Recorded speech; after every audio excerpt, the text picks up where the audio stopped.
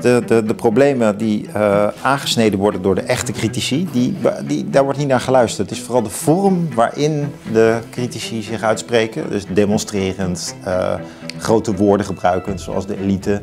Uh, die, die vorm wordt bekritiseerd, maar het, wat, de inhoud van de kritiek wordt niet serieus genomen.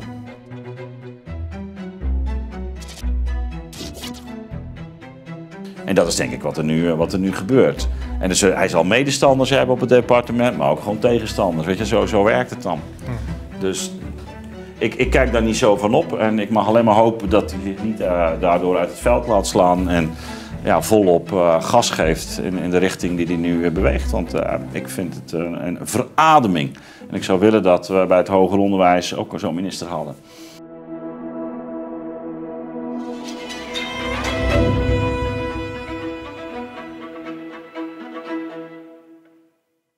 Welkom bij de Nieuwe Wereld, verdiepende gesprekken in een tijd van verandering. Mijn naam is Rogier van Bemmel. Het is weer tijd voor nieuws van de week.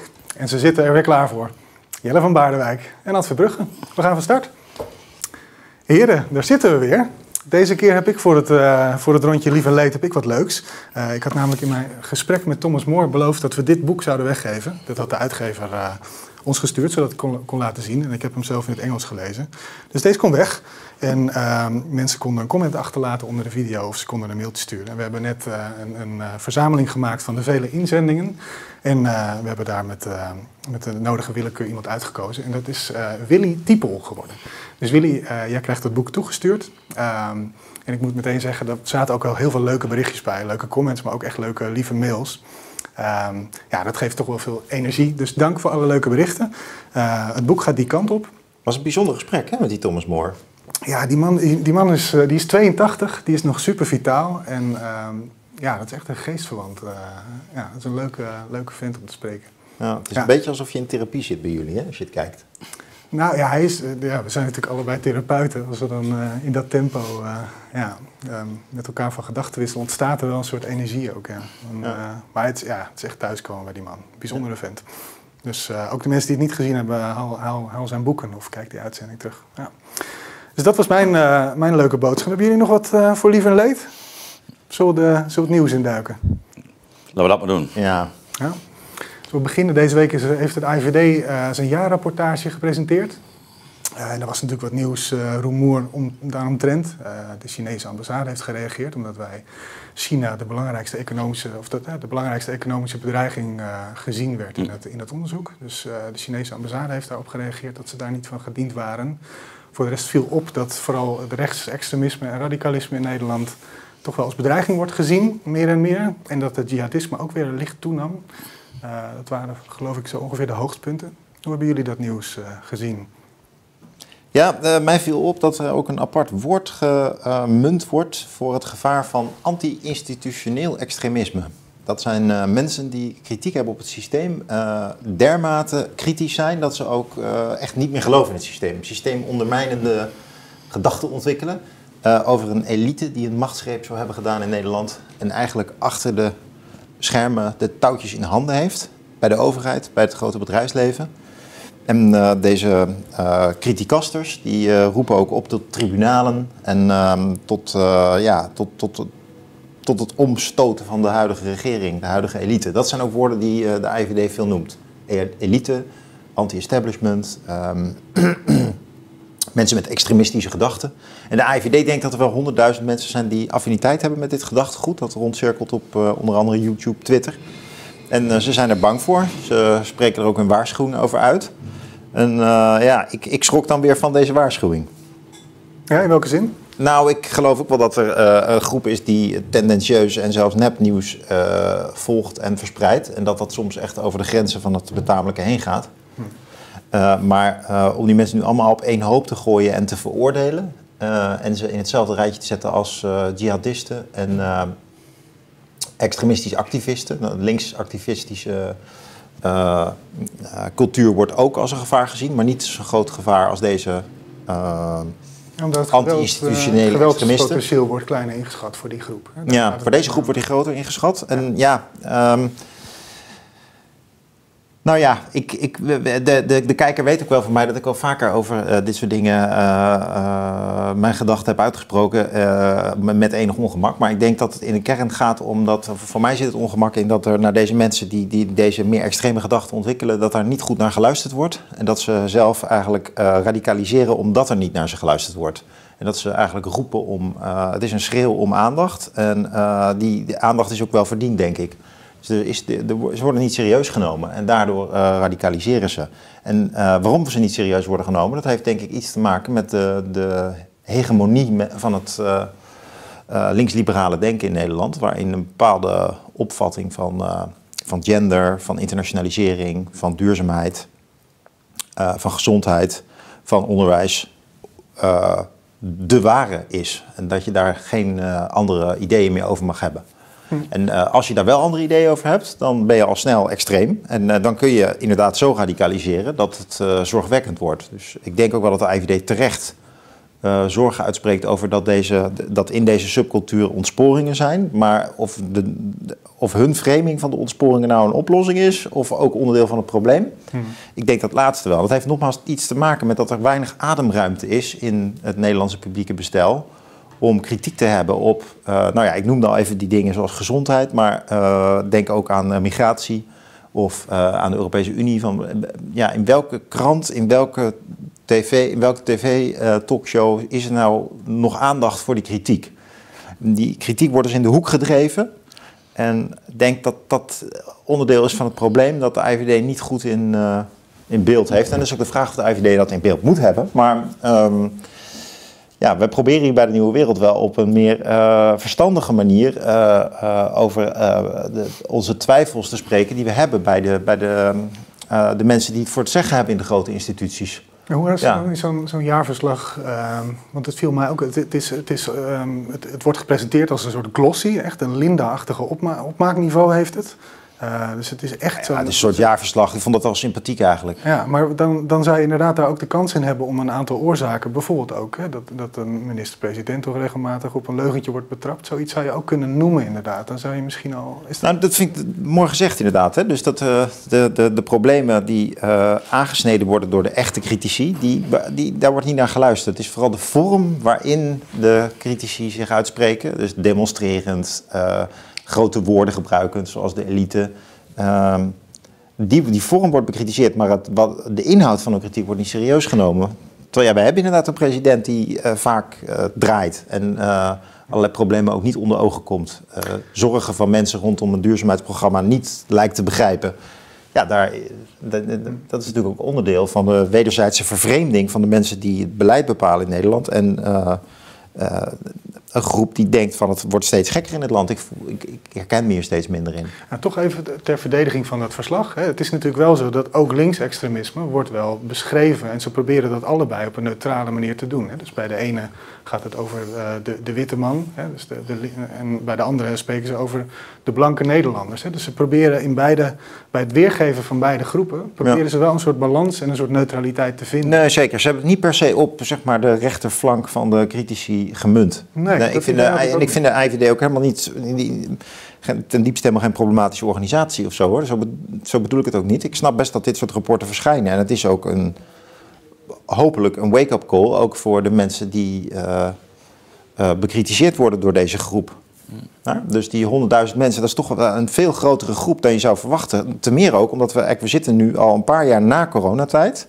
Hè, dus er zijn een, een hoop uh, grote maatregelen ook weer teruggedraaid. Er zijn nog veel problemen maatschappelijk gezien, maar we zitten eigenlijk weer in iets rustiger vaarwater, zou je zeggen. Maar deze groep van critici die wordt alleen maar groter. Nou, waarom zou dat zo zijn? Hè? Dus ja, kennelijk, zitten we toch niet in rustige dan, dan, noemen ze Oekraïne, dan noemen ze stikstof. Maar ze noemen niet inderdaad hoe de regering functioneert. Maar goed, um, volgens mij hebben we een beetje een beeld. We hebben ook nog een hoop andere dingen te bespreken. Een korte reactie van jou, Ad? Um, ja, kijk, je zou kunnen zeggen dat uh, in ieder geval aangeeft dat het instituut van de parlementaire democratie niet meer zo goed werkt. En een van de gedachten van een parlementaire democratie is natuurlijk dat ze in staat is om de verschillende stemmen die binnen een samenleving uh, nu eenmaal uh, bestaan, om die een plek te geven. En daarmee voor een deel ook tegenstellingen wat te neutraliseren of, of deels te, te pacificeren, maar juist om te voorkomen dat mensen buiten boord vallen, maar dat, dat ze zich toch nog ergens gerepresenteerd voelen in die parlementaire democratie. Nu kun je zeggen, nou hebben zich inmiddels ook wel partijen gevormd die, uh, zowel aan de rechter als aan de linkerflank, uh, die, die dit bestel zelf ook natuurlijk uh, problematiseren. Hè? Dus, dus de, daar begint natuurlijk als het ware binnen het parlement ook, ook al het een en ander te schuiven. En, bij Forum zie je dat bijvoorbeeld heel, heel, heel uitdrukkelijk. Maar je merkt het bij, bij, bij Savannah Simons ook wel enigszins. Hè? Dus je, je, ziet dat zeg maar, de, binnen die orde zelf ook natuurlijk de orde ook wordt geproblematiseerd. En, um, en ik denk dat dit, een uitvergroting is van die, laten we zeggen, die spanningen binnen die, die parlementaire structuur, die eigenlijk niet meer, waar, het gesprek nauwelijks op gang komt. En dat is denk ik ook waar Jelle aan, refereert. Hè? Dat je gewoon probeert met een soort realiteitszin uh, toch, toch met elkaar om de tafel te gaan. En ik denk juist dat het, succes van eh, BBB bijvoorbeeld, ook, ook heel veel te maken heeft met de stijl. Um, waar, waarin iemand als Caroline van der Plas dat er, ergens nog wel probeert. Hè? Dus ik denk dat ze daardoor ook relatief succesvol is op dit moment. Omdat daar een, echt een poging wordt gedaan om vanuit een fundamentele kritiek toch de openheid voor het, voor het gesprek te, te bewaren. En dat mensen zien daar wel de zin van in. Dat is hoopvol. Uh, de andere kant van het verhaal, hè, in termen van de gezagscrisis, binnenkort op de markt, uh, is, is, zie je dat het institutionele gezag dus afneemt. En ik vind ook dat punt dat Jelle inbrengt terecht. Uh, we hoeven het niet alleen over de regering te hebben, maar over allerlei instituties. en dat kan, dat kan bij wijze van spreken ook de agentschappen zijn, zoals de EMA die, die toch op een manier zijn gaan functioneren waarbij je af kunt vragen of nou wel de voldoende waarborgen zijn ingebouwd in, in, in democratische zin. Hè. Vindt daar voldoende inspectie door de overheid plaats? Of spelen daar toch allerlei belangen. En juist omdat voor een deel uh, die, die uh, agentschappen ook uh, overgeheveld zijn naar Europa. En dat we een heel breed ja, toch meer een globale netwerken zijn gaan opereren.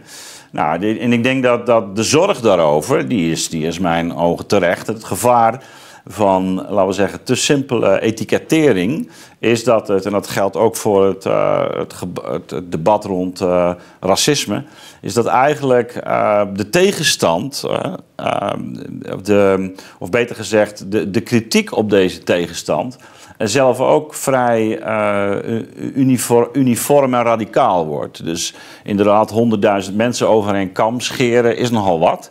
Um, ik denk dat, dat er allerlei gradaties, uh, soorten en, en, en, kleuren aanwezig zijn. Um, en, en, het gevaar van een, polariserend maatschappelijk klimaat uh, is, zeker zodra overheidsinstituties of parlementariërs dat gaan overnemen, wat ik zo even al aangaf, is dat er eigenlijk sprake is van een, um, ja, het creëren van, van die uitzonderingspositie. Hè. Dus, dus mensen worden extremer, worden geëxtremiseerd. Dus extremisering uh, is niet alleen maar een proces aan de kant van de ontvanger, maar ook van de kant van de institutie zelf. Hm. zoals je ook kunt spreken in mijn ogen van racialisering, waarin, of waarin het, het ras steeds steeds wordt benadrukt. Dus wat die witte man zich op een gegeven moment ook vanzelf racistisch gaat uh, gedragen. Niet dat dat niet, nooit gebeurt, maar hoe die, die dus laten we zeggen, de blanke mannelijke volksdeel wordt bejegend. en de termen waarin dat gebeurt,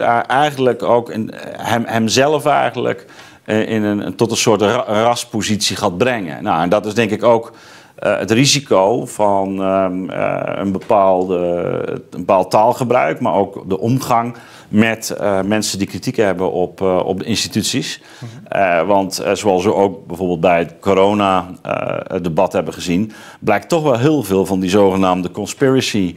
theorieën en blijken eigenlijk helemaal niet zo.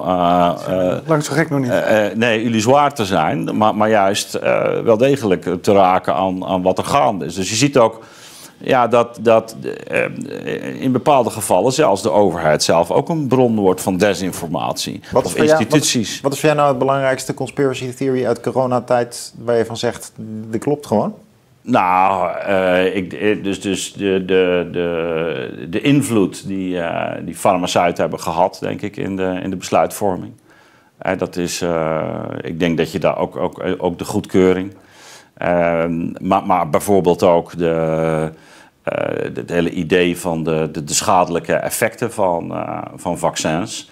ik ga niet zo ver en, en, dat die vooral uit winstoogmerk snel op de, op de markt zijn gebracht.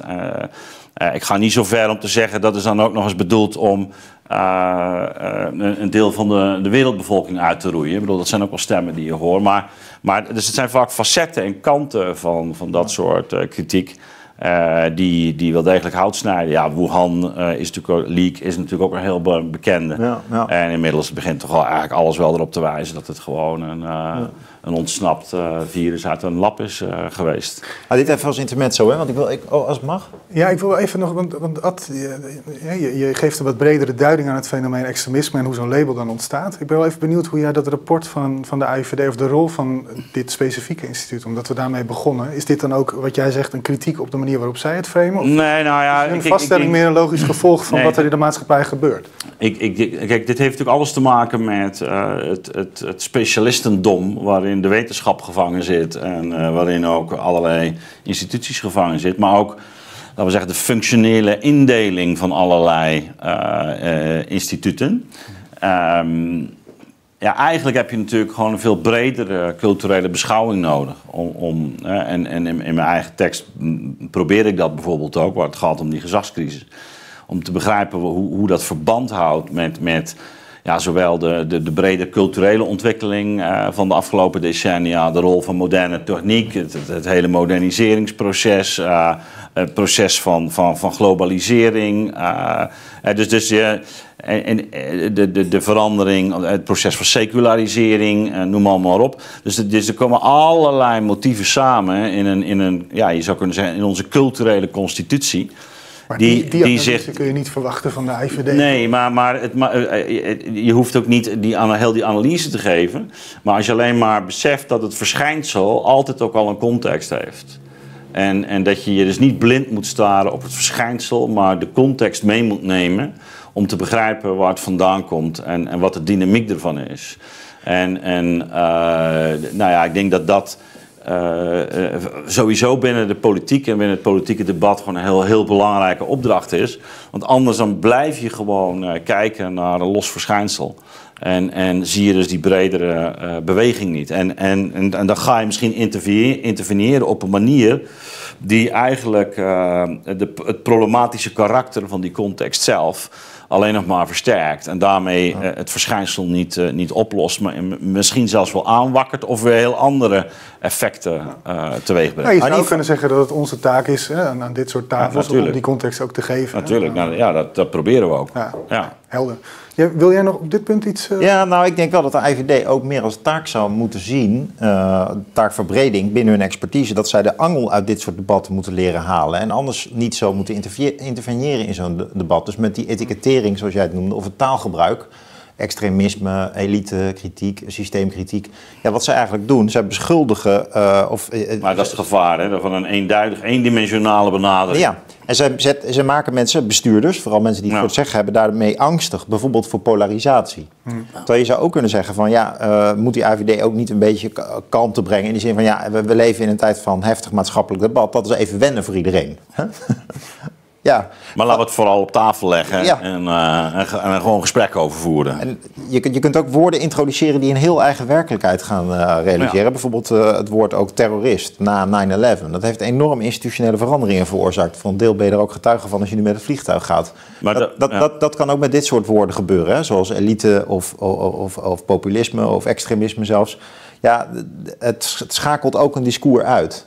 maar het fenomeen verdwijnt daardoor natuurlijk niet. Ja, aan de andere kant, dus, als de IVD niet op tijd waarschuwt voor, voor ontwikkelingen die eventueel in geweld kunnen uitmonden om ze te verdedigen. Ja, het is hartstikke goed dat ze er zijn, even voor de duidelijkheid. Ja, ja precies. Bedoel, uh, dat, volgens mij hebben we die discussie niet. Eh, waar jij op, terecht, terecht op doelt, in mijn ogen. Uh, is dat uh, die, die woorden een, een, eigen leven kunnen gaan leiden, maar ook zelfs beelden kunnen oproepen die uh, ook, ook weer uh, acties rechtvaardigen en handelingswijzen. En ik heb dat ook, ook bijvoorbeeld rond coronaprotesten gezien. die, die, in, die in feite contraproductief zijn en het probleem niet, niet, uh, niet tackelen of oplossen, maar het eerder uh, uh, verergeren. Ook omdat ze dus, dus groter inzetten. Dus die, die, die kritiek op die anti-institutionele extre extremisten is eigenlijk een kritiek die de angst veel breder ja. vergroot.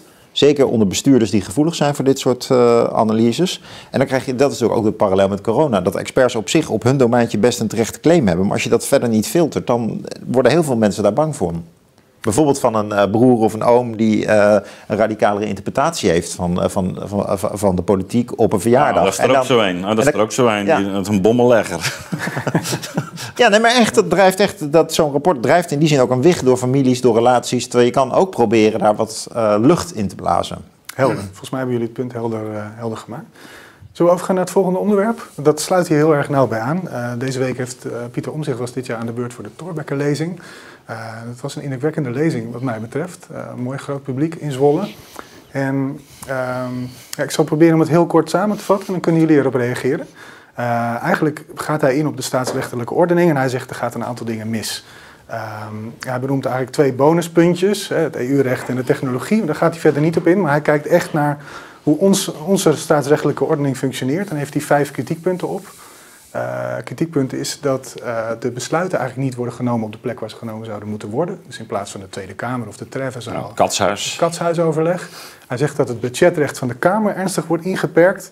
Hij zegt dat de wetten niet uh, tijdig of maar ten dele worden uitgevoerd. En dat we dat zouden moeten aanpassen. hij heeft het over de informatievoorziening naar de Kamer en de samenleving. En hij heeft ook, hij heeft nog steeds zijn, zijn punt, wat hij al vaker heeft gemaakt volgens mij dat hij wil dat er een grondrechtelijke toetsing mogelijk wordt voor wetten. En dat we daar als burger ook een beroep op zouden moeten kunnen doen. Dus eigenlijk op die vijf punten ziet hij dat die staatsrechtelijke ordening kraakt. En dat ziet hij ook, en dat is wel interessant in die lezing, echt als een oplossing voor nou, eigenlijk de maatschappelijke problemen, onder andere die jullie net benoemd hebben. Um, ja, hoe hebben jullie de lezing gehoord? Laat Jelle maar beginnen, want die, uh, die heeft een studie gemaakt van Torbeck. Hè? Die had hier ook de gast uh, ja. voor de biografie, waar, waar Omtzigt ook naar verwijst. Uh, ja, Remy Juist, ja. ja. dat is een uitzending die uh, die kijkers ja. van harte aanbeveelt. Ja, dat is een mooi gesprek. Ja, uh, niet alleen die van hem, maar ook die van uh, Auke van der Wout trouwens. Dat gaat ook ongeveer over die tijd. Ja, ik, de, doordat ik die biografie gelezen heb, moest ik ook direct ook een beetje terugdenken aan wat Thorbecke nou in Nederland betekend heeft. En volgens mij um, is dat, hij heeft dus de, de grondwet die eigenlijk al in de maak was, uh, heeft hij verder uh, uitgerold en geïnstalleerd. Toen is hij ook in, dacht in 1851 uh, eh, minister van Binnenlandse Zaken geworden. Dat was toen een soort de facto minister-president. Maar dat was de rol van de koning toen, de, de, wat nu Mark Rutte is. En hij is vooral bekend geworden om de grondwet. Maar toch is het historisch gezien eigenlijk belangrijker dat hij echt de parlementaire democratie in Nederland, het parlementaire bestel eigenlijk realiseert. Want democratie, je had toen geloof ik 10% van de mannen mocht stemmen. Maar die stemden dus op mensen die in de Kamer kwamen hè, en in het parlement. Um, nou, daar heeft Thorbecke zelf ook nog in gezeten. En uh, die, dat parlement zat tussen de koning en de ministers van de koning, benoemd door de koning, en het volk in. Dat is eigenlijk de grote innovatie van Thorbecke. Nou, en uh, het grappige is dat, uh, dat is ook punt 1 van de kritiek op, uh, van uh, Pieter Omtzigt nu op het huidige bestel. Hè, dat hij zegt, ja, waar is het parlement? heel veel beslissingen worden niet genomen ten overstaan of transparant voor de mensen die in de Kamer zitten. Maar door ministers en hun experts. vaak, hij noemt zelfs letterlijk actievoerders. Uh, mensen die eigenlijk achter de coulissen, dus in het uh, katshuis inderdaad, aan bepaalde tafels. Klimaattafels en dergelijke. Ja, beslissen hoe, uh, hoe, hoe, bepaalde beleidslijnen zullen lopen.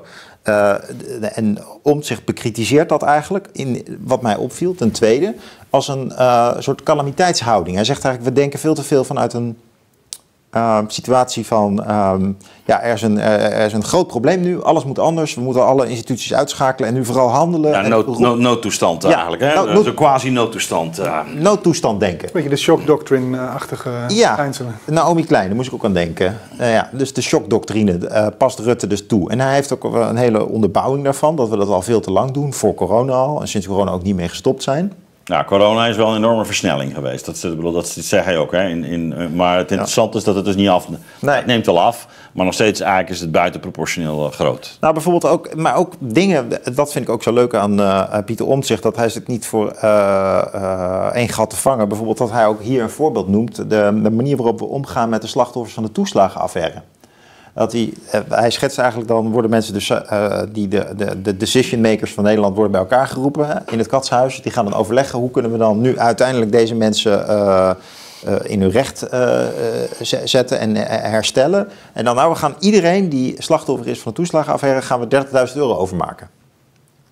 En dat wordt dan gewoon besloten op een zondagnamiddag en dan gepresenteerd.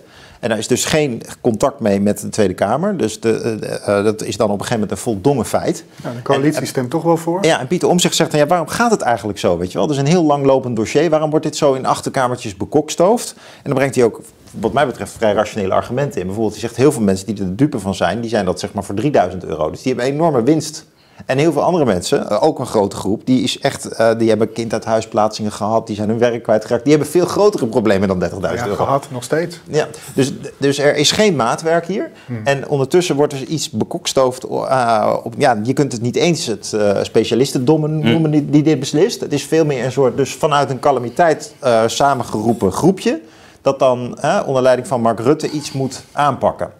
Nou, dat uh, viel mij. En dan de derde stap, die, en dan sla ik er ook een aantal over, die ik ook heel interessant vond, is dat uh, zelf Pieter zelf probeert natuurlijk vaak dit soort uh, besluitvoeringsprocessen ook in de openbaarheid te brengen. Ook weet hij er zelf niet alles van. En hij laat zien in deze korte lezing dat heel veel zogenaamde WOP-verzoeken, dat is eigenlijk informatie uh, krijgen, dit, dat die gewoon genegeerd worden of dat er getraineerd wordt. Dus ik geloof dat de regering dan binnen 30 dagen of zo moet reageren. Hmm. Uh, en dat doen ze dan altijd 111 dagen over. En daar zijn heel veel problemen ook alweer overgewaaid. Dus uh, die Tweede Kamer wordt ook op dat niveau eigenlijk buiten de regering gehouden. Nou, um, uh, dat, dat waren de dingen die mij het meeste opvielen in eerste instantie. En toen uh, las ik het eindstuk en toen dacht ik van Verdorie heeft ook eigenlijk een hele fundamentele kritiek op het rechtsbestel zelf in Nederland. Want hij zegt ja, we hebben een grondwet, maar op de een of andere manier is het een soort niet levend document geworden, wat Thorbecke graag gewild had. En wat hij ook in zijn afsluitende zin uh, citeert hij ook, uh, Thorbecke, op dit punt. Hè, dat de grondwet veel meer een soort van ja, culturele richting, oriëntatiepunt zou moeten zijn. En dat, dat is het niet.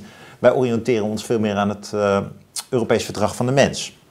Nou, dus aan mensenrechten. hij, zegt dat, dat, dus hij, brengt eigenlijk... hij zegt dat je daar een, uh, je kunt beroep doen op, het, uh, op, op, uh, op Europees recht. Mm. Maar je kunt, geen, je kunt niet wettelijk afdwingen dat de grondwet gehandhaafd ja. wordt. En daardoor ja. krijgt het de status van een aanbeveling, zegt hij. Ja, en daarmee kom je toch ook op het oerthema nu in de hedendaagse politiek van nazistaat denken of Europees denken, internationaal denken. Die grondwet is Nederlands. En waarom is het eigenlijk niet zo dat wij in Nederland een structuur hebben waarin we ons tot die grondwet verhouden en een de burger ook via de grondwet een toets heeft voor, uh, voor wetgeving en politiek. En, en wel in Europa. Dus, uh, en dat is maar een klein staartje van de tekst, maar het vond ik dan ook wel weer sappig dat dat er ook in zit. Uh, ik, ja, ik, ik, ik, heb de lezing echt met grote interesse geluisterd. Hij staat ook online, je kan hem ook naluisteren. Ik, ik, vind, ik vind het echt behoor, indrukwekkend dat wij zo'n politicus hebben. Ja, ja, het is, hij, hij doet zelf echt aan Thorbecke denken. Ik denk echt dat van, over zo'n kaliber hebben we het gewoon. Ja.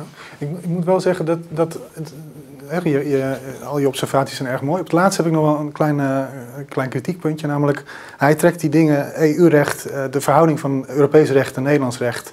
Uh, en de grondwettelijke toets binnen ons eigen staatsbestel, die trekt hij volgens mij heel nadrukkelijk uit elkaar. En dat doet hij ook, omdat hij zegt, ja, die andere Europese landen, daar kun je nog dingen aan je eigen grondrecht toetsen. Dus hij zegt, we moeten ook wel thuis beginnen. Ik denk ook dat dat een van de redenen is waarom hij die twee thema's toch een soort van gescheiden houdt. Dus, um, dus je kunt wel het een doen zonder het, zonder het ander niet op je, op je to-do-lijstje te laten staan, zeg maar. Ja, ja, nou goed, ik, als je het hebt over bijvoorbeeld die Europese vogel- en habitatrichtlijn en hoe wij met die Natura 2000 uh, uh, gebieden omgaan en, de stikstofcrisis nu, dan zie je toch wel duidelijk dat wij ook, eh, wij missen zelf de juridische handelingsruimte om zoiets uh, proportioneel aan te pakken in Nederland. Er wordt op allerlei manieren naar, uh, naar Europa geweest en het lijkt in Nederland weinig grond te hebben. En dat toen, ik, dus ik dacht wel aan die discussie als voorbeeld bij van ja, we, we missen ergens um, uh, de grond om op, in Nederland verantwoordelijkheid te nemen zonder dat je nou meteen het idee hebt dat je amoreel of juridisch bezig bent. En dat, dat deed mij, dit- misschien een stretch, maar dat, deed mij, dat, dat is het voorbeeld dat bij mij te binnen schoot. Ja. Nee, maar dat, eh, Ja. ik denk dat Omzicht er daar zeker mee eens is. Overigens afsluiten, we hebben een aantal gesprekken hier aan tafel gehad hierover. Bijvoorbeeld met Wim Voermans, met Ruud Kolen. Eh, dus het is een bekend thema bij de Nieuwe Wereld. Hm. Had schrijft het boek eh, De gezagscrisis gaat hier natuurlijk ook over. Maar we hebben het hier vaker over gehad. Dus de, de lezing van Pieter Hm. Omtzigt kwam niet als een... eh, Een donderslag bij heldere hemel. nee. Inhoudelijk. Nee. Nee. Maar dat hij het zo verwoordt, dat vond ik Eh. wel eh, fris. Ja, heb jij bij deze, bij deze gelegenheid van deze lezing er ook nog iets aan, aan toe te voegen? Aan, aan Ja, wat dacht je? eh, Ik dacht van wel. ja. Ehm, nee, ik vond het een prachtige lezing. Eh, heel belangrijk dat hij eh, dit heeft gezegd. En zo eh, toch, toch redelijk systematisch gewoon naar voren brengt. Het is echt een fundamentele kritiek op het functioneren van onze parlementaire democratie. Ehm, ik zie het zelf toch weer net, net weer in die bredere context waar ik zo even ook al over had. van een, ja, ook wel een. kijk, de constitutie in de Hegeliaanse zin is, is eigenlijk altijd al ingebed in de, de, de, sociaal-culturele eh, orde eh, van, een, van een land of een gemeenschap.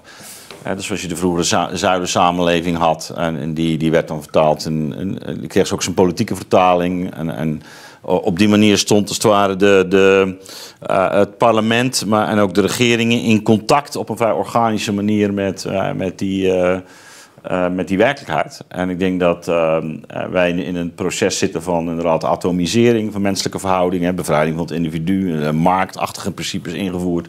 Waardoor ook die, die, die onderlaag is geërodeerd. Hè. En, ehm, en, en, en daarom ben ik iets, iets sceptischer over de, de, de, de, de veranderingen die, die hij voorstelt. Waar ik wel denk dat, die, dat je die moet doen, hè, voor de duidelijkheid. Dat is wel belangrijk.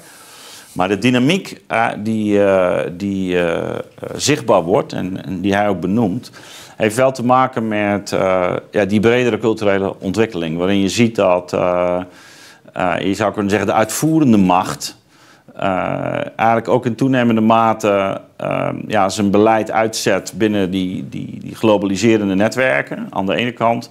En, en daarbij ook natuurlijk eigen beleidsagenda's wil doordrukken.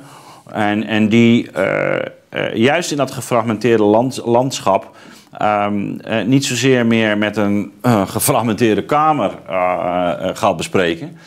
Maar eh, het vooral op beeldvorming gaat gooien. Hè. We hebben hier ook genoeg gesprekken gehad aan tafel. waarin het blijkt dat de overheid het afgelopen decennia. echt een leger aan communicatieadviseurs in dienst genomen. Ja, juristen eruit. Communicatie- en, eh, dus, dus, dat, dus die beeldvorming, ik had er met Thijs Jans ook een mooi gesprek over. Dat is natuurlijk een heel, heel belangrijk onderdeel geworden. En waarbij je zou kunnen zeggen, eh, ja, de overheid probeert ook een soort mediastrategie te ontwikkelen. Met name dan de uitvoerende macht, hè, dus de, de, de regering.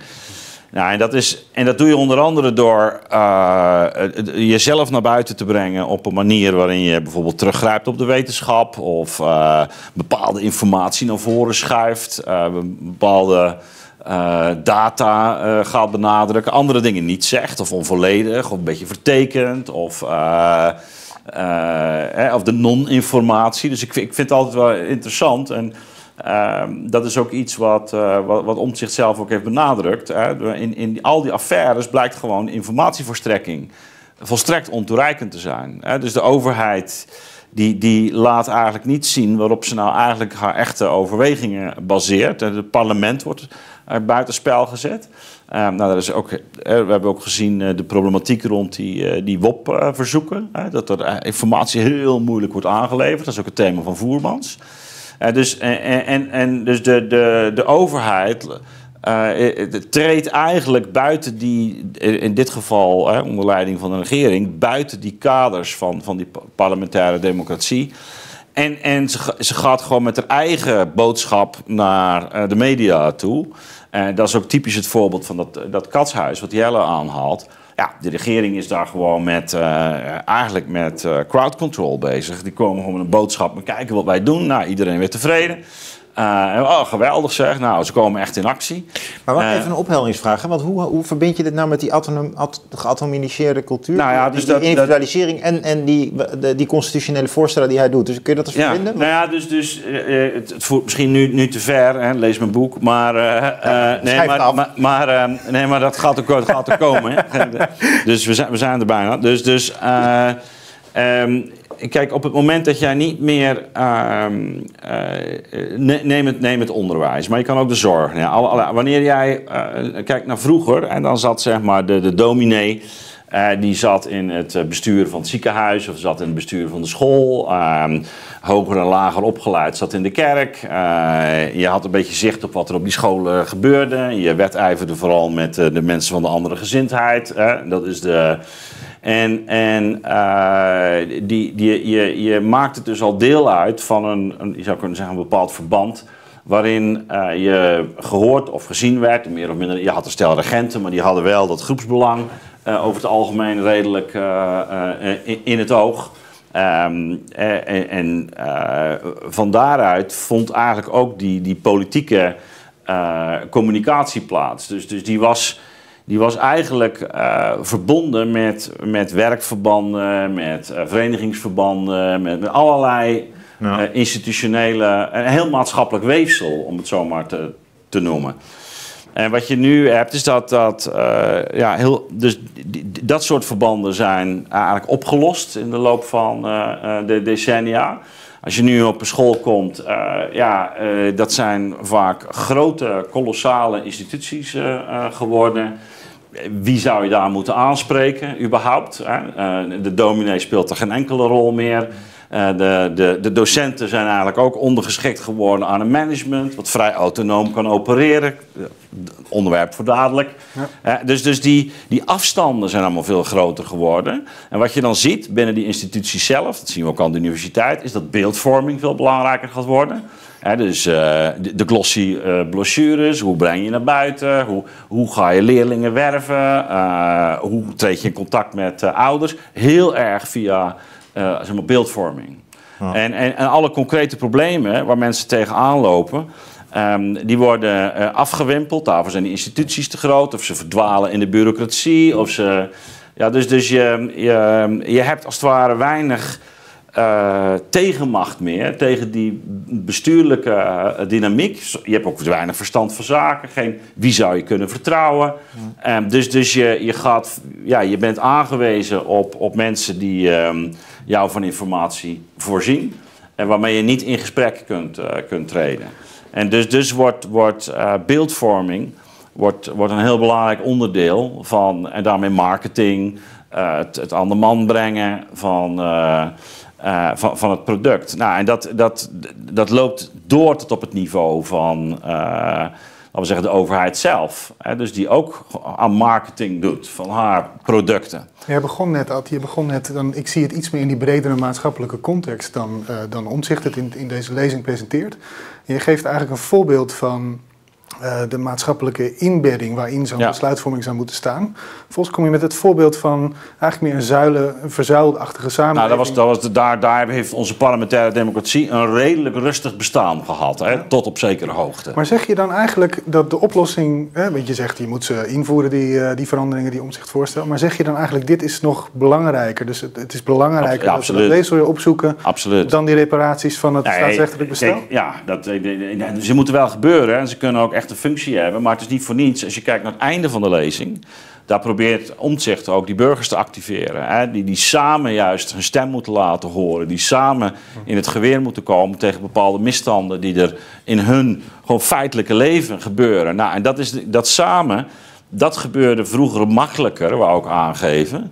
Uh, want die burger is, die, die, die is zelf ook al verweest om het fortuin te, te spreken. Ja, die, die zit in structuren en systemen waar die zelf ook niet... No. En, en, die, en, die, en die kijkt naar de overheid. Nou, en die overheid zegt, nou, we trekken zoveel miljard uit. denk je, nou ja, misschien dat dat het wordt. Ze doen iets. Ja, maar, maar, maar dat blijkt vaak ook helemaal niet de oplossing te zijn. Ja, dat vond ik trouwens ja? ook, dat vond ik ook nog een heel opmerkelijk deel in de lezing. Dat hij dus kritiek heeft op het gemak waarmee weer ja, geld het uit. geld verhoord. Ja, dat is het budget, Ja, budgetrecht. dat zie je ook in eh, Dus- het stikstofdebat. Maar dat was zeg maar mijn. mijn eh, hè, dus, dus, dus wat er gebeurt, is dat die informatie heel gedoseerd naar buiten wordt gebracht. Soms misschien zelfs wel in een half akkoord met, eh, met journalistieke media, hè, zoals rond corona. Dat een aantal, dat informatie niet gedeeld wordt, eh, ook met de Kamer. Maar dat, dat, dat men eigenlijk de, de Kamer bijna passeert. eh, om in de beeldvorming eh, eh, eh, eigenlijk het goede te doen en daarmee de legitimiteit vooral te zoeken in die publieke eh, eh, ruimte. Terwijl te- tegelijkertijd natuurlijk in concreet al mensen ook steeds meer teleurgesteld kunnen zijn. En, en ja, die politiek, ja, mooie praatjes, maar dat is ook niet de waarheid. En in feite gebeurt er niks. En nou, dat is denk ik een, een, een risico wat je, wat je sowieso op dit moment loopt, wa- wanneer, die, wanneer die onderlaag niet op orde is. En ik denk dat je dus daarmee ja, eigenlijk veel meer ook voor de opgave stelt, wat zou dat weefsel kunnen zijn vandaag de dag? En ik denk dat je dan ook naar, meer naar eh, het belang van regionaliteit moet kijken of naar eh, kleinere soort eh, verbanden tegen de grootschaligheid, maar wel ook een zichtbare aanwezigheid van de overheid daarbij. Maar Wat bedoel je met regionaliteit in deze context? Nou, dus, dus de, de, eh, je, je kunt je, maar goed, dat gaat nu echt te ver. Maar je kunt je afvragen of dat model, zoals we dat van, van representatie, zoals we dat nu hanteren, eh, dat heel erg rond de partij eh, is georganiseerd, of dat niet op een, of andere manier eh, veel dichter bij de, bij de leefwereld van mensen terecht zou moeten komen. En bijna een soort wel, eh, districtenstelsel. Ja, dat is wat eh, omzicht wil. ja, ja nee, dus, dat, dus de, die lijn zie ik ook wel. Eigenlijk omdat dat je, je wil dat, dat die mensen en die, die volksvertegenwoordigers meer verankerd... Daar begon ik dus over. Die, die zuilen hadden meer die vanzelfsprekende verankering. Was ook niet optimaal, hè? Dus dat, bedoel, en het moest ten onder gaan. En we hoeven niet daar idyllisch alleen maar over te spreken. Maar het had wel dit voordeel. En, en ik denk dat de, nu de opgave is... hoe kun je opnieuw die partijen... Uh, en, en, dus daarmee die representatie uh, zodanig inrichten dat dat herkend wordt door, uh, door, door, door burgers. Dus het moet. Nou, en dan, dan is dus regionalisering of naar een district toe, is, is denk ik een, een manier die je zou kunnen kiezen. Hoewel dat ook niet een panacee is, want je hebt dan ook wel weer die, die verbanden nodig waar zo'n uh, districtvertegenwoordiger ook weer mee vertrouwd is. En, nou, we gaan het zo over onderwijs hebben. Dat zou een van de, hè, een nou. van de institutionele inkaderingen van die wortels kunnen zijn. Ik vind het tot nu toe, het, wil jullie zeggen hè, mooie dingen, uh, een beetje saai, omdat jullie het zo eens zijn met Pieter Omtzigt. Zijn er ook nog dingen waarvan jullie zeggen, nou... Nou, ik, man... ik, ik zei al, ik maakte meteen al kanttekeningen. Dus, dus nee. Maar laten we nou eerst eens beginnen ja. van gewoon, wat bedoelt hij nou eigenlijk? Ja, uh, hoe belangrijk en, en, en bijna uh, toch wereldschokkend is dit? Eh, laten we dat eens goed doordenken. Van om, eh, en ik denk dat we de rijkdom van die lezing hebben we überhaupt nog niet hier op tafel. Hè? Dus, dus uh, voordat we weer kritiek gaan leveren, nogmaals, ik heb er een geformuleerd, maar laten we vooral wel het positieve uh, deel daarvan. En, Volgens mij hebben we de kern wel op tafel hoor, Ad. Dus, uh, dat... Ik vond jou ook vooral een aanvulling geven. Dus ik had het idee dat we, dat we aardig geschetst hebben waar hij het over heeft. Dat jij het aanvult. Um, en je, maar je zegt eigenlijk, we hebben eigenlijk een falend, een falend parlement. Hè? En dat komt niet door het parlement zelf, maar die, dat parlement wordt de hele tijd gepasseerd door de, de, door de machtshebbers. Nou ja, ik denk dat het, ook, ik denk dat het ook door het parlement komt. Hè? Dat is het hele punt. Dus, dus hè, als je dan toch weer kritiek levert, nee, wie zitten er in dat parlement? Wat is hun deskundigheid?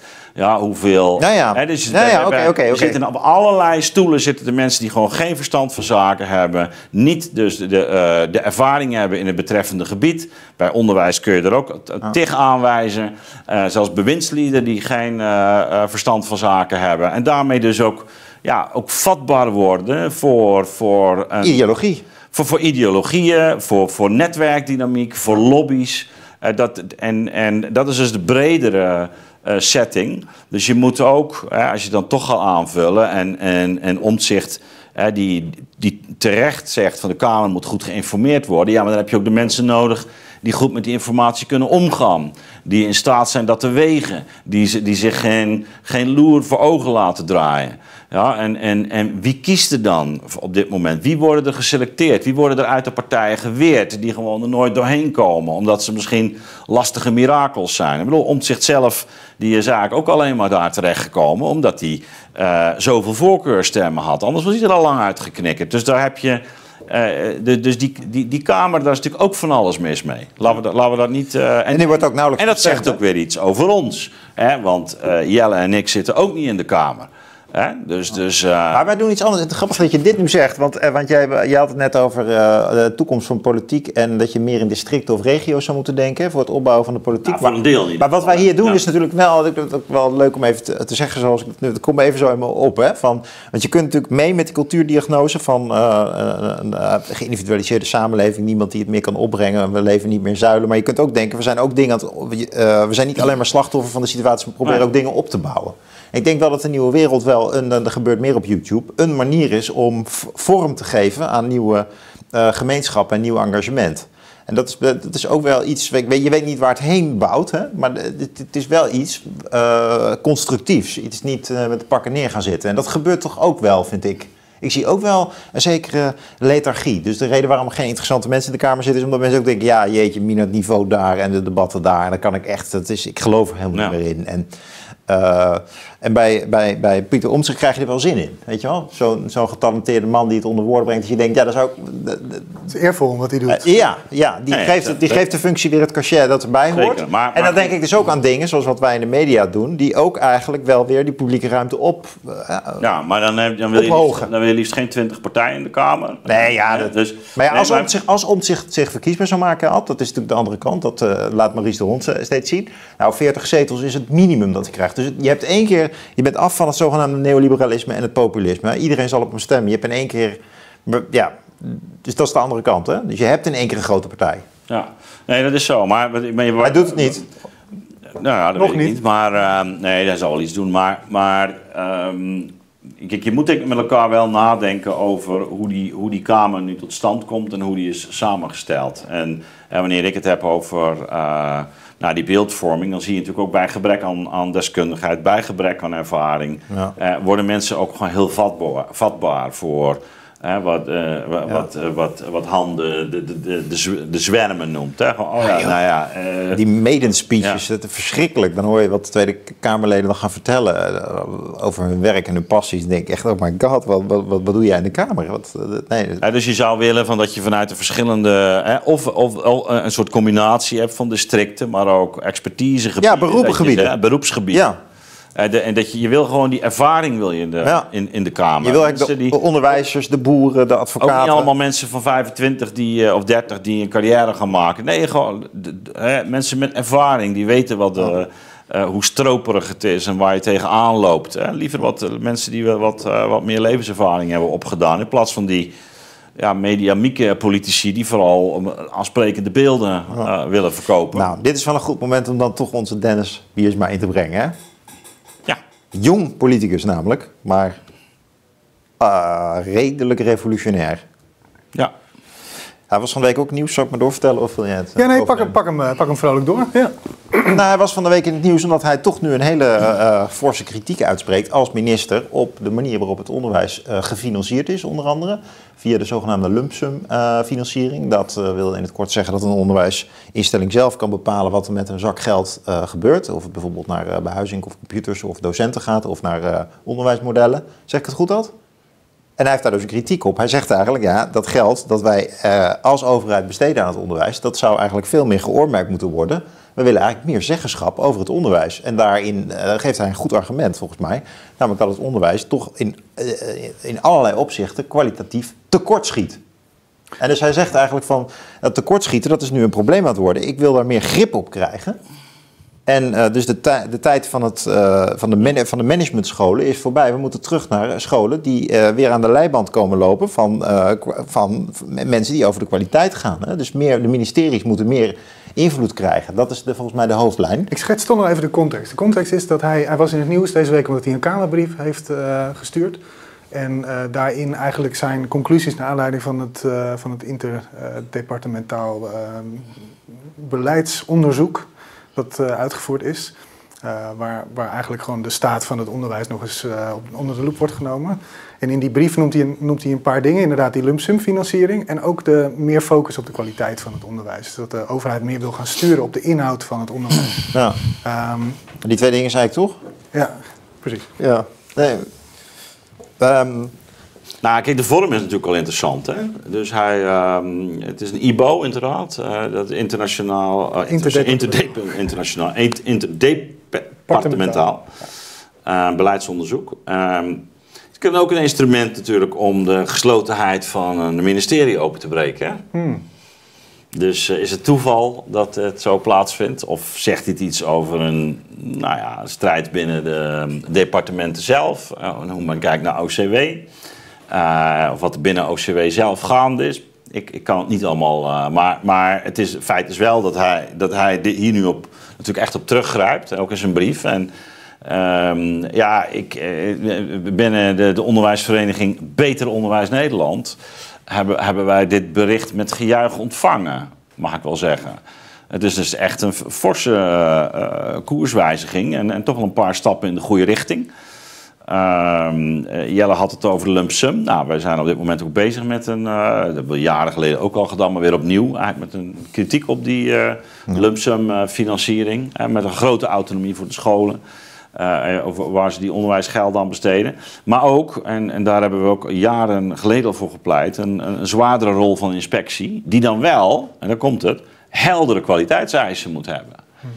Ik ben, ben, ooit een keer uh, in 2010 uh, uh, benaderd door, door, door Rutte.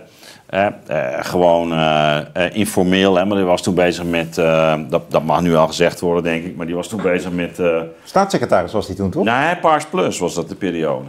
Ah, oké. Okay. En, en, en, hij was erg bewogen door de problematiek van, van management. Hè? Afstand, management, werkvloer. Maar het is toch al Zijn eerder zus... dan 2010? Nee, het was 2010. Oh. Dus, en en uh, hij heeft volgens mij ook een zus die in de zorg werkt of zo. Dus, dus hij had me zelfs telefonisch van... ja, we moeten, moeten daar nou uh, doen? En uh, weet je, dan moeten het toch... dan moet eindelijk nou eens stevig ingrijpen. En, en ik had toen... ik was op vakantie in Spanje op dat moment. Dus hij belde erop. Nou ja, weet je, ik maak wel tijd vrij. Dus mijn kinderen een beetje...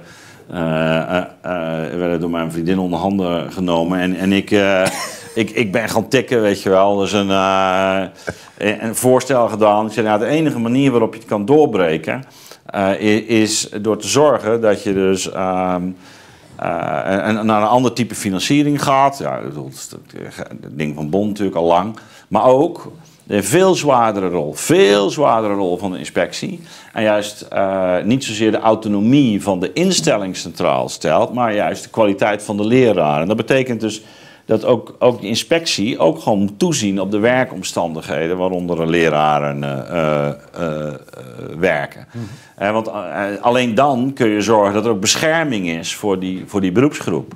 Ja, een en, van de dingen die ze noemde is ook dat ze willen dat de inspectie, of de, een plan van, uh, van ja. Isma, is dat de inspectie niet alleen met die besturen die vaak in een, in nee, koepel precies. zitten, maar dat die echt de school ook ingaan ja, dat met is, verrassingsbezoeken. Dat is exact het, exact het idee. Dus uh, dat was toen eigenlijk ook al mijn, mijn gedachte. Je, je moet het dus niet weer naar de beeldvorming He, want dan maken we een mooi rapport, evaluatie. Uh, nou, gaat allemaal goed. Nee, concrete, concrete uh, praktijken. Hè? Hoe gaat het hier? Hè? Wat zien we met de ouders? Met de, uh, en niet dat het kan worden voorbereid en weer kan worden geanceneerd. Maar gewoon zorgen dat je inderdaad onverwacht binnenvalt. Dus ik ben het er helemaal mee eens. Vind ik heel goed.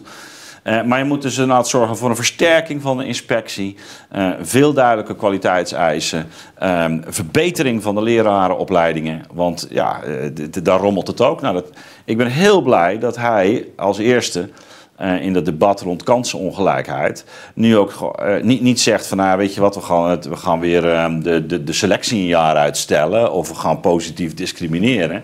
Nee, maar wat, wat is de wat is de analyse? En dat hebben wij ook altijd gezegd als onderwijsvereniging. Die kansenongelijkheid in staat omdat het onderwijs zijn emancipatoire kracht is verloren. Omdat het gewoon het onderwijs achteruit gaat. En dat ziet hij nu ook. Het staat met zoveel woorden in die brief. Maar we hebben het nu over Dennis Wiersma. Maar ik ben nog even benieuwd naar het lijntje van Mark Rutte. Nou ja, dus, oh ja, hoe, is dat, is afgelopen? Hoe is dat nou afgelopen? Ja, hoe is dat afgelopen? Jij in Spanje met je vriendin en de kinderen. Dus, dus, je hebt dat document getypt. Heeft hij dat vervolgens als brief naar de Kamer gestuurd? Nee, Paars Plus ging niet door. En, en, en ik krijg vervolgens een, uh, bij het eerstvolgende... Uh, ik, ik, was natuurlijk heel benieuwd in hoe, uh, hoe, um, hoe heet dat ook alweer? De, het, ehm, Hoe dit in een bureau, bureaulaan verdween. Nee, nee, nee. nee. Dus, Formatie, oh, of? nee, dus, er komt op de eh, het kab- kabinets... ehm, Coalitieakkoord. Coalitieakkoord, voilà, dankjewel. Dus hoe, hoe, ehm, eh, wat in het coalitieakkoord stond, nou, eh, wat was het geval? Verkleining van de inspectie. Oh ja. Ja. Dus, dus exact het tegendeel. En, en of Rutte zag het gewoon helemaal niet. Dat denk ik ook hoor, hij ziet het gewoon niet. Eh, en hij, hij, hij, hij is vooral processen aan het managen. En dat doet hij op een hele vlotte manier. En mensen denken het wordt tenminste geen chaos. Maar hij- het probleem, eh, wat hij al zag, eh, toen ook, heeft hij totaal niet opgelost. Het is alleen maar erger geworden. En dat is omdat hij dus niet nadacht over, over het systeem. eh, dat hij zelf mee aan het optuigen was. Het werd alleen maar erger naar hem. Het werd alleen maar erger. En, ehm, Het is wel bijzonder eigenlijk dat het nu dus bekend wordt, omdat iedereen zoveel nadruk legt op die gelijkheid en die emancipatie. En dat dat nu de reden is waardoor deze eh, kritiek weer relevant wordt. Dus me- mensen zijn heel erg bezorgd over dat er verschillende kansengelijkheids, vormen van kansengelijkheid zijn Ja. in de maatschappij. En daardoor is het Dennis Wiersma nou tot inzicht gekomen dat er een kwaliteitsprobleem in het onderwijs Nee, is. Maar, maar dat is veel breder dan die maar discussie. Wier- kijk, Wiersma, we hadden het net over ervaring. Kijk, Wiersma is echt een stapelaar. ja, dus, Ja? Dus die, die heeft een, gewoon een trage eh, schoolcarrière gehad. Hè? En die komt ook uit een milieu hè? Wat, wat, wat nou niet per se eh, academisch eh, is.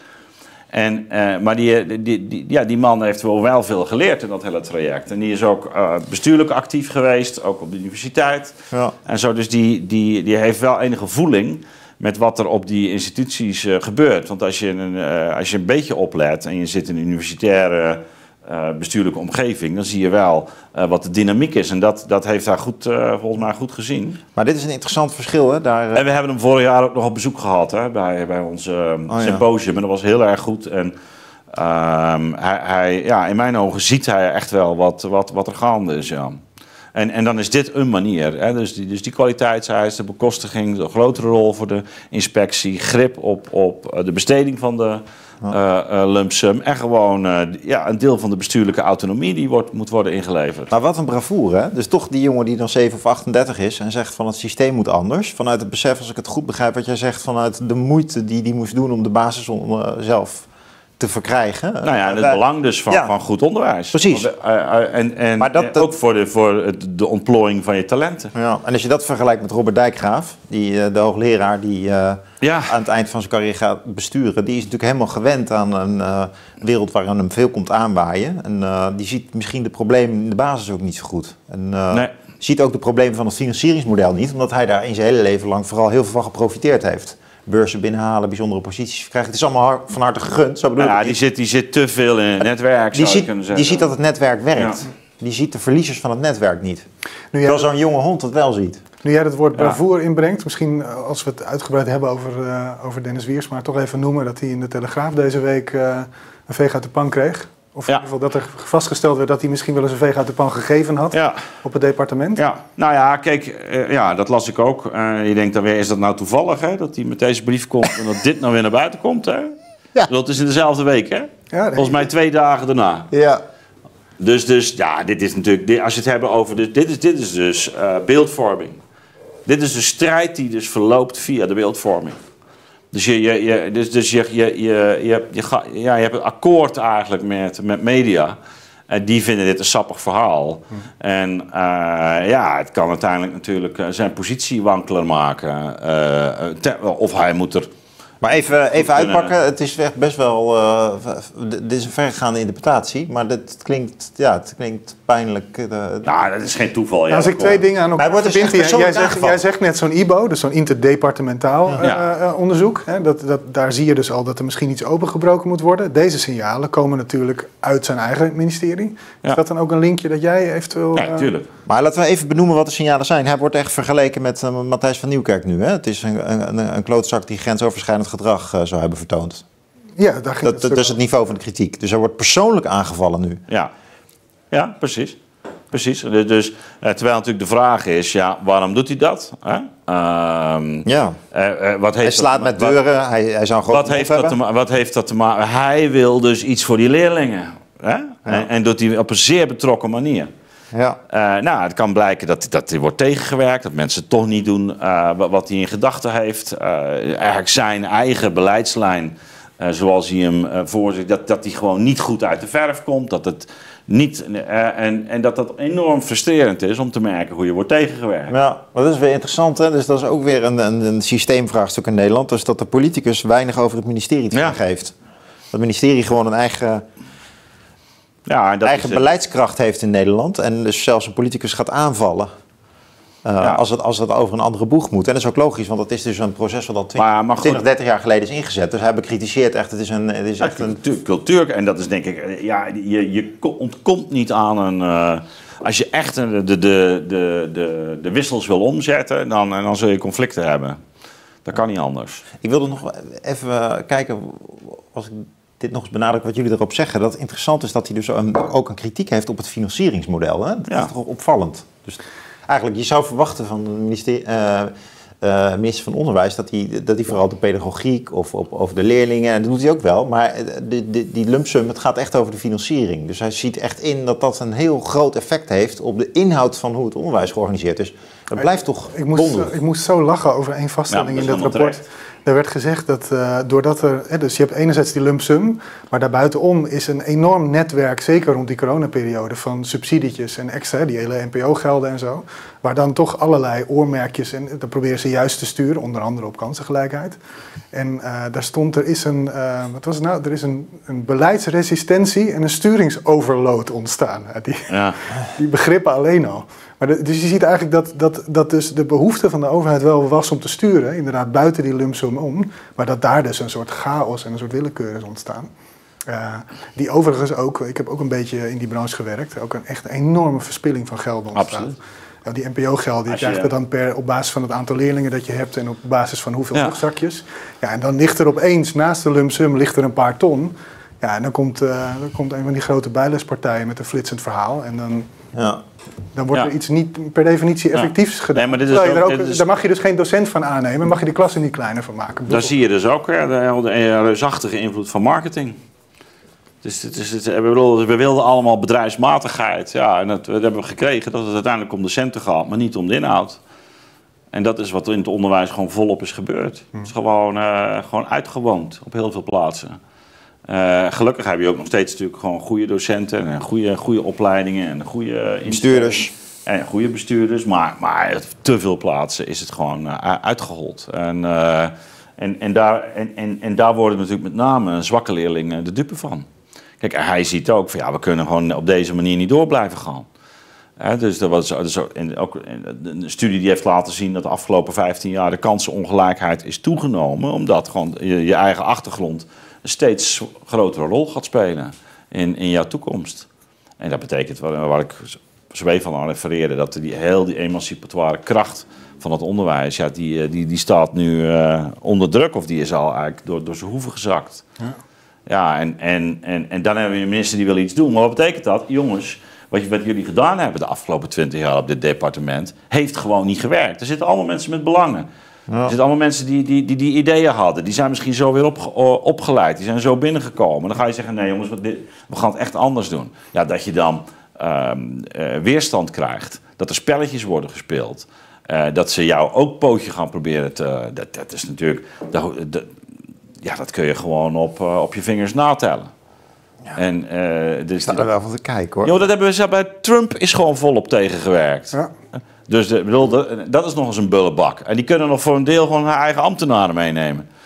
Dus, dus uh, dat, dat dat gebeurt, ja, dat is volgens mij inherent. En, dat, en, en dan moet je dus inderdaad uh, ook stevig in je schoenen staan. En, en, maar ook zien van, nou, dan zullen ze je ook weer pootje proberen te, uh, te haken.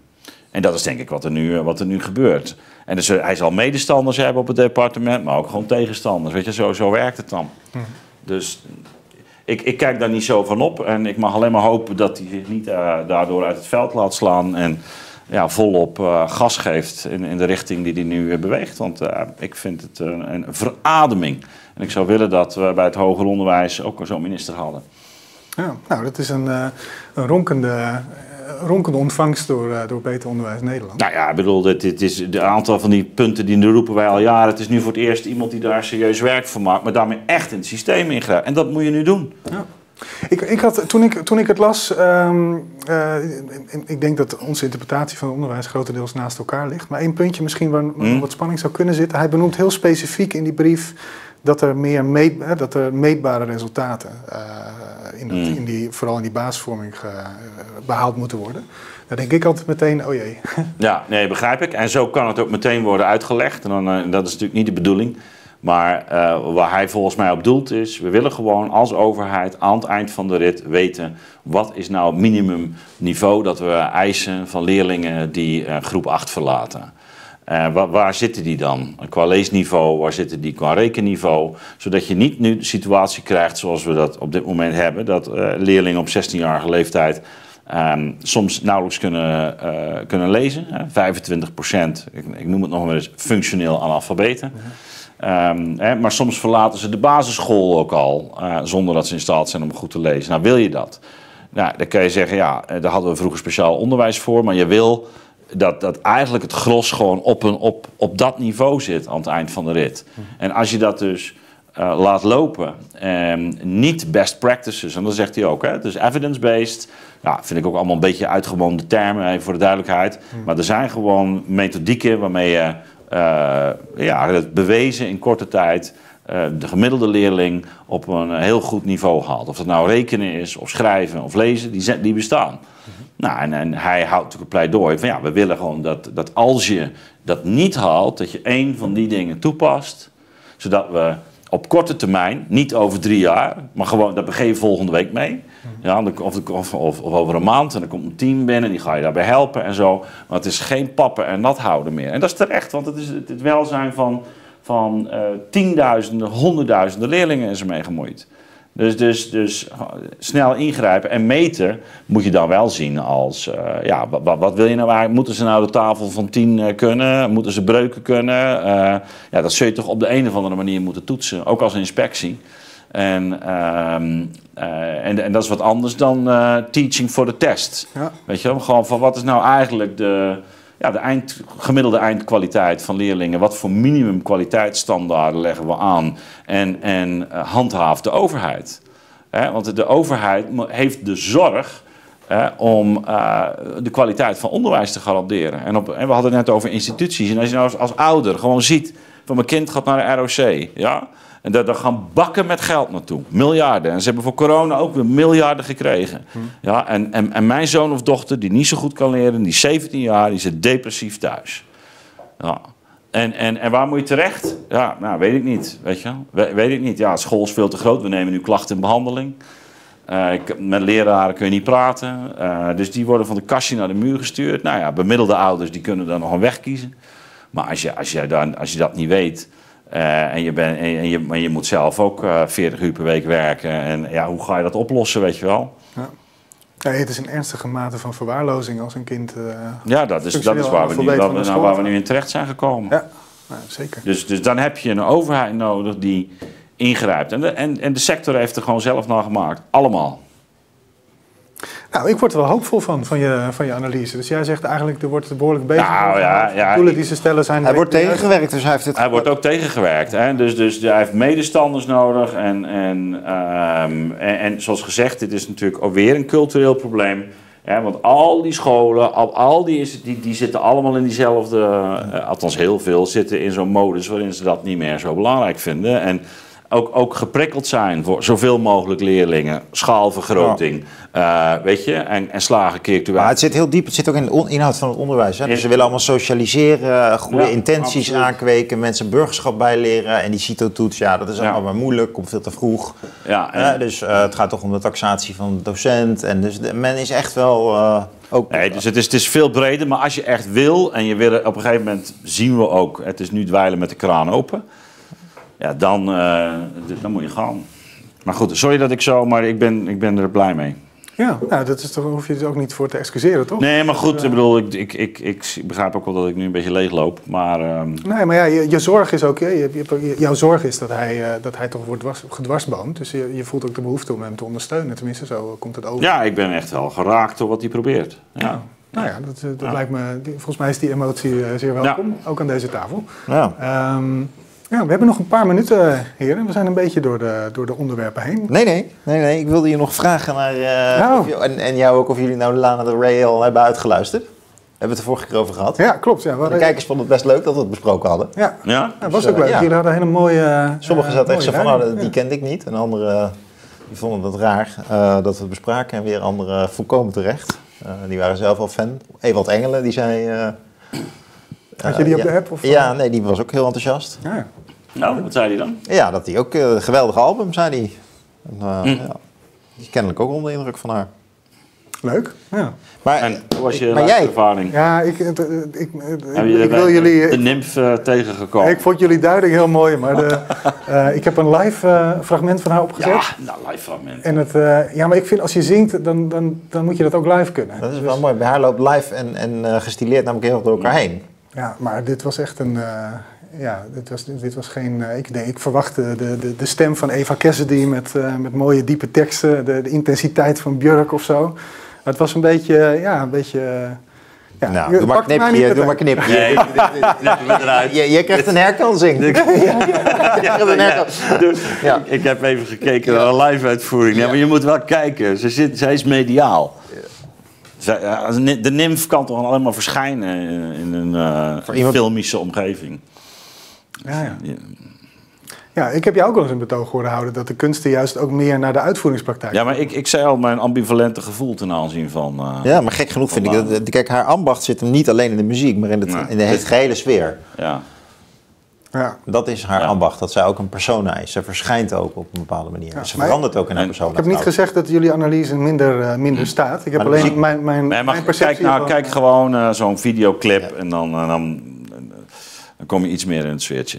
Ah, ja. nou, dat is een goede, goede aanbeveling. Ja. Ook voor Ja. de kijkers die, die nog niet gepakt waren. Ja, niet, niet een optreden in Glastonbury of zo. Dat, dat, je, dat is het podium, dat, dat werkt niet. Ah, ja. Ja. Ah.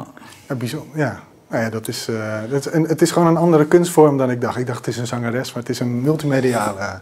Ja, absoluut. Ja, ja mooi. Ja, dit, een ander balletje wat ik nog zou kunnen opgooien is eh, dat de- deze week toch wel een eh, interessant interview van Elon Musk bij eh, Tucker Carlson geweest. eh, Ja, dat kun je wel zeggen, ja. veel rimpelingen heeft. Dat hadden we helemaal niet voorbereid, maar eh, dit is, dat is wel een, bommetje, ja. Jullie, bedoelen, jullie bedoelen niet dat interview bij BBC? Nee, bij de BBC had hij een soort aanvaring met de journalist die Ja. niet zo goed voorbereid was en wat kritiek gaf Ja. op eh, dat Twitter zo. Oh, dit is een nieuwe, die heb ik helemaal gemist. onveilig was. Elon Musk is uitgebreid geïnterviewd door Tucker Carlson. Tucker Carlson is een van de prominente anchors van eh, Fox News. Nou, dus het is een eh, volledig rechtse omgeving, hè, was wat we dan noemen- zo noemen. Ja. Maar dit terzijde. Zeer gepolitiseerd en, en Ja. daar komt eigenlijk de, de, de politiek wat neutraler. Hij had voor Biden gestemd, zegt hij ook in het interview. eh, eh, Elon Musk, en die komt eigenlijk vertellen over, over AI en ook wel over Twitter. Hè, dat ze 80% van de medewerkers hebben ontslagen. En eh, dan zegt hij ook van ja, weet je, hij zegt nog niet, het is, eh, het is geen rocket science, maar hij zegt ja, je bent geen auto aan het bouwen. Het is gewoon een soort chatgroep voor meerdere mensen. Ja, zo moeilijk is het allemaal niet. 80% eruit. En, eh, en het wordt echt interessant als het over de toekomst van de mensheid gaat. Dus hij zegt echt, ja, wat we nodig hebben is een AI die, volgens mij hebben jullie dat thema ook wel vaker besproken, maar een AI die eerlijk is. Dus wat, die, Ja. wat ook ChatGTP 4 nu doet, die leren we eigenlijk al te liegen over bepaalde onderwerpen. En hij zegt, interessant gedachtsexperiment, als je nou een AI hebt die echt gewoon de waarheid zegt, ehm, dan heb je minder kans dat hij bijvoorbeeld ingrijpt. Want dat is misschien een interessante punt om voor te leggen. Dat hij ingrijpt bij bijvoorbeeld verkiezingen. Dus dat hij manipulatief wordt. En aan de andere kant heb je kans dat ook als hij sterker wordt of nou ja, machtiger wordt dan wij zouden willen, dat hij in ieder geval met een, met een eerlijke blik naar de aarde kijkt en zegt, nou die mensheid, dat is eigenlijk zo gek nog niet, die wil ik behouden. Dat vond ik wel twee interessante lijntjes in de, in de Ja. Maar jij hebt, jij hebt het ook gezien dus. Ja, maar wa- wat denk ik heel belangrijk is, eh, er is nou wat, een aantal weken geleden heeft hij natuurlijk dat eh, voorstel voor het moratorium gedaan. Hè? Dat is de, Dat ze zes maanden stoppen met de ja, ontwikkeling. samen met, eh, precies, samen met trainen van, echt, echt een leger aan deskundigen en mensen van naam ook. ja. En ehm, eh, ja, ver- vervolgens ehm, is natuurlijk ook naar buiten gekomen dat hij net zelf een, eh, een soort eh, chat eh, van AI heeft opgekocht. Hè? Dus, eh, Ja, gesticht. X, X, ja. X, Nee, maar dat is ook gekocht. Dat is, dat, dat is gewoon overgenomen. Dat is niet dat hij daarmee begint. Dat is, eh, dus hij heeft gewoon expertise ingekocht. Ehm, nou, en daar is, daar, is, daar is natuurlijk ook kritiek op. Van ja, dan wil hij zeker zelf... eh, hè, wil, wil, wil hij eh, dat half jaar gebruiken om... eh, concurrentie bij te benen. Precies. Ja. Nou, dat, dat, ik sluit niet uit dat, dat daar een kern van waarheid in zit. Maar ik, ik, de, de andere argumentatielijn is precies die jij aanhaalt. Dat hij zegt, ja, we moeten nu wel zorgen dat er een AI wordt opgetuigd. Dat is hetzelfde wat hij bij Twitter heeft gedaan. Eh, die, die, die niet meer zo vooringenomen is. En, en uh, daarmee dus ook een tegenwicht kan, kan bieden tegen toch nu een, een een AI-architectuur die, wordt, uh, die in, ja, wordt gebouwd, die, die juist wel uh, vooringenomen is. En uh, ik, ik kan dat niet overzien. Ik weet wel dat er inderdaad een, een, een, nou ja, laten we zeggen, een bepaald soort richtlijnen zijn voor, voor ook chat, GPT en zo. Mhm. Die, die wel degelijk ook ter discussie zou kunnen, kunnen stellen. dus het is interessant en dat is wel de bredere context. Ook, ook hier dus een slag tussen verschillende uh, partijen. En Musk heeft zich natuurlijk al eerder ja, vrij uh, strijdvaardig uh, betoond. Mhm. Ten opzichte van ehm, andere big tech. want het is natuurlijk gewoon big tech waar die in zit. Ja, an, andere big tech partijen. OpenAI is hij ook begonnen omdat Larry, weet je nou, Larry Page van, van Google, die, mhm. die was eigenlijk, dat zegt hij in het interview ook, uh, die, was eigenlijk, die noemt Elon Musk een speciest. Uh, ze zegt, je bent te veel gefocust op de mensheid. Je moet ook naar de AI-bewustzijn is net zoveel waard als... Ik weet niet wat hij daarmee bedoelt trouwens, maar AI-bewustzijn is net zoveel waard als menselijk bewustzijn. Uh, en daarop is Elon Musk eigenlijk OpenAI nee, daarom, dat, is nu uit zijn handen. Hij zegt, we hebben een, we hebben een, multipolaire AI-landschap nodig. Om, om tegenwicht te bieden tegen negatieve... Ja, en, en, en ik, ik, ik ben het daar wel mee eens. En normaal, ja, of zijn intenties allemaal goed zijn, kan ik niet overzien. Maar uh, dat de verschillende partijen echt ook met verschillende uh, levensbeschouwingen daarop actief zijn, lijkt me van groot belang nu. Ja, ja dus dat, dat is wel tegen, tegen inderdaad de indruk die dan gewekt wordt van ja, je, je begint snel een bedrijfje en je ondertekent dat moratorium. Nee, dat is, maar dat vond ja, ik er zit wel een idee achter. precies, dat, en ik vond het ook uh, te gemakkelijk, die kritiek. Ja, ja precies. Ja. Dus, en dat, bedoel, dat kwam ook natuurlijk al ter sprake ten aanzien van uh, Twitter. Hè, wat zijn uh, diepere motivatie was nou om dat te doen. Mm. En toen zei ja, het zijn in ieder geval niet de zakelijke overwegingen geweest.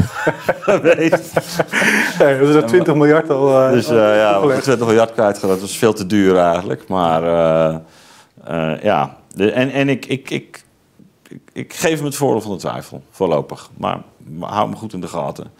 Ja. Maar die strijd ook tegen transhumanisme en zo, die is denk ik wel heel actueel.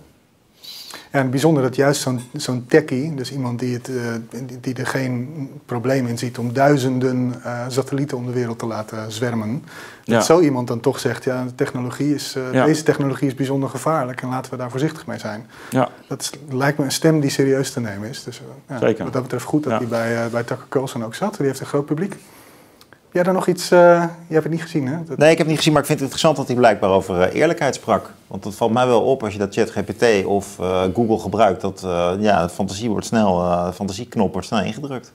Dus je kunt van alles bedenken op internet en verhalen over je. Dan kom je weer op die communicatiedeskundigen. Die, die AI-tools die, die stimuleren. Zo, bijvoorbeeld, ik had ook... Ja, dat is een beetje gênant om te zeggen, maar ik had ook mezelf ingevoerd van, ja, wie is eigenlijk Kille van Baardenwijk en waar houdt hij zich mee bezig? En uh, hoe meer details je zelf invoert, hoe meer er ook uitkomt. Hè? Dus als je zegt uh, de filosoof Jelle van Baardenwijk of uh, die dit boek heeft geschreven, dan komt er steeds meer uit. Maar je ziet ook dat ja, zo'n algoritme bedenkt ook bijvoorbeeld dingen die je geschreven hebt of mensen die je kent. En dan denk je, hè, die ken ik helemaal niet. Dat komt er dan toch uit. Boeken die je niet geschreven hebt. Dus ik vond het wel heel creatief ook. En dat vind ik ook wel met, eh, met mijn gebruik van Twitter en, en um, Google. Dat, uh, ja, als je er meer geld en tijd aan besteedt, dan komt er toch, verschijnt er toch weer een andere uh, landingsbaan. Die ook weer verschilt van iemand anders met net andere zoektermen. Dus ja, ik, een beetje meer eerlijkheid in, in, in tech, dat kan Ja, maar dat kan absoluut dit, is, dit is voor een deel natuurlijk ook nog gewoon dysfunctionaliteit. Hè? Dus, dus, maar, nee, ja. Hè? maar, ik, ik, las, ik, las uh, ik, ik, kreeg vannacht een, uh, een, berichtje toegestuurd van Marcel van Silverhout, die ook hier al aan tafel is geweest, die um, gevraagd had om een gedicht waarin hij zelf werd genoemd, het graangeluk, bier en Vincent van, van Gogh. en nou, ik ben even, maar in ieder geval een aantal van die, oh ja, Chopin.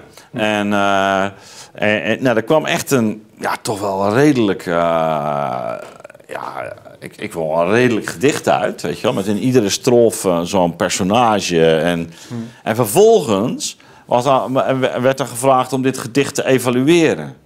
Ja, dan kreeg je gewoon een evaluatie, een uitstekend Nederlands. En, uh, en ik je, jeetje, dit gaat toch wel heel ver hoor.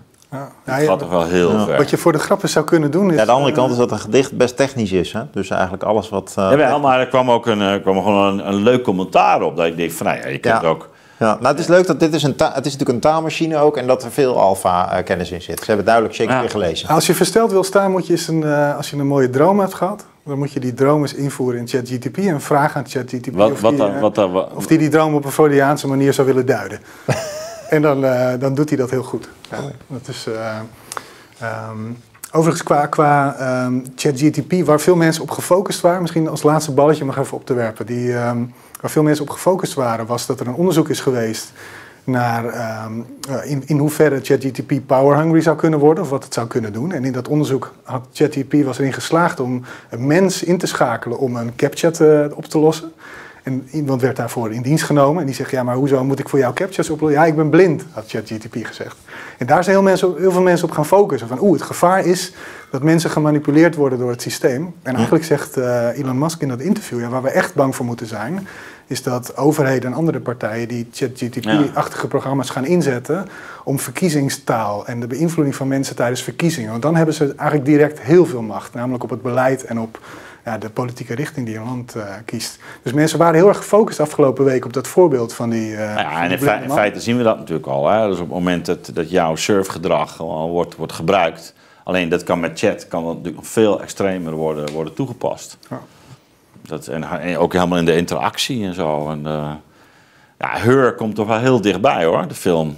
Ja, ze hoeven niet meer van die, uh, van die automatische belletjes, maar ze kunnen gewoon ChatGPT ja. met iedereen laten chatten. Van, hoe is jouw politieke voorkeur? Ja, ja maar ook, ook dat je het idee hebt dat je nog met een mens in gesprek bent. En uh, precies, ja, nee, heel heftig. Oké, okay. volgens mij uh, moeten we gaan afronden. Zeker. Um, heel erg bedankt voor, ja. voor alle mooie duidingen en het enthousiasme. en u bedankt, bedankt voor het kijken en een fijne zondag nog.